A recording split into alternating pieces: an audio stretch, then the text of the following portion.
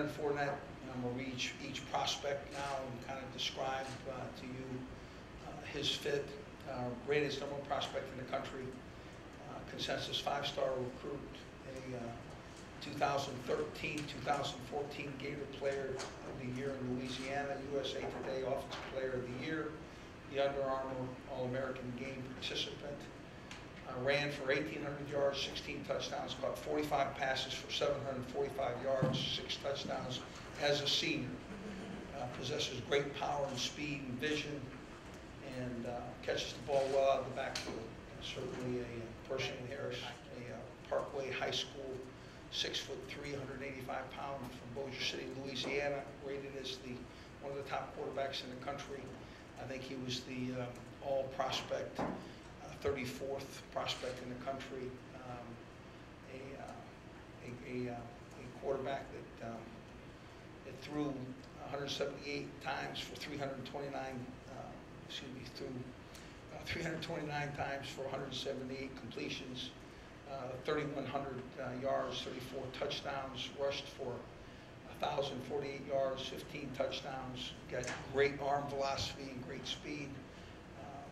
Will will really challenge defenses vertically down the field and have the ability to his feet. Rated the number one wide receiver in the country, consensus five-star recruit. Played in the All-Star games, um, 34 catches for 607 yards, six touchdowns. Um, Just a tremendously capable athlete, long jumper, triple jumper, high jump state champion, very explosive, great uh, speed for his size, great catching radius, has the ability to control it to a ball, and uh, um, just a tremendous, I think the country gets smaller. I think it's smaller with technology, I think it's smaller with iPads and TV and phones that are computer driven, and I have a, uh, a, uh, a prospect that who's currently on our campus and going to school, so I guess that he would be then our, an LSU Tiger, and he said to me here, Coach, I want you to talk to Trey And he handed me his phone, and he was FaceTiming Trey L.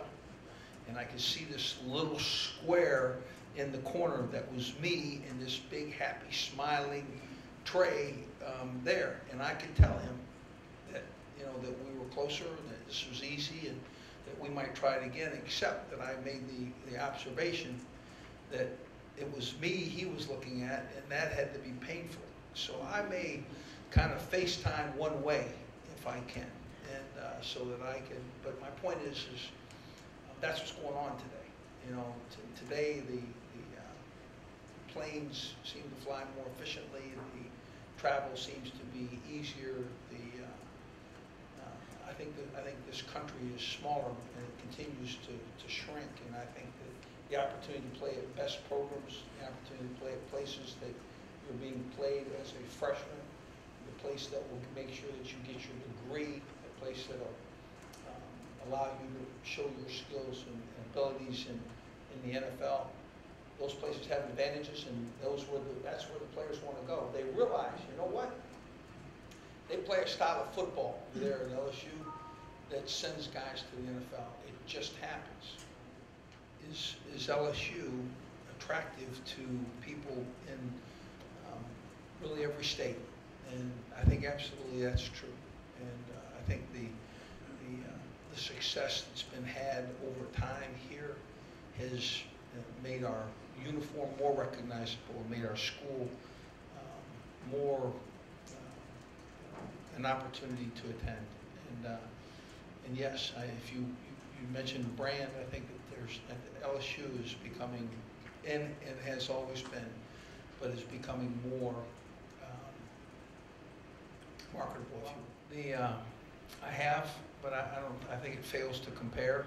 Um, I think that uh, um, what he's got to do is, all the things that made him successful in his high school and growing up, he's got to continue to do.